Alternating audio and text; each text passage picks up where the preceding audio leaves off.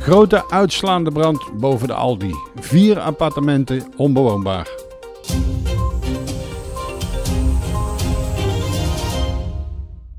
Donderdag, eind van de middag, is de brandweer opgeroepen voor een woningbrand aan de ploeg. Al vrij snel was duidelijk dat het om een uitslaande dakbrand ging in een appartement boven de Aldi. Vanwege de omvang van de brand, maar ook vanwege het aflossen in de hoge temperaturen door de brandweerlieden, is er gelijk flink opgeschaald.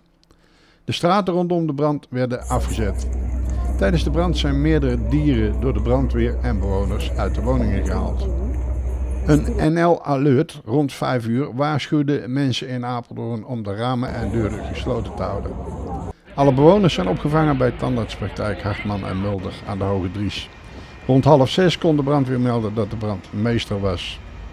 Bij een droneverkenning omstreeks half acht kwam vast te staan dat er geen slachtoffers waren, maar ook dat de muren zo onstabiel waren dat er rondom de panden ruim is afgezet met hek. Voor de bewoners van de vier getroffen appartementen is opvang geregeld. Ze zullen voorlopig niet terug naar huis kunnen.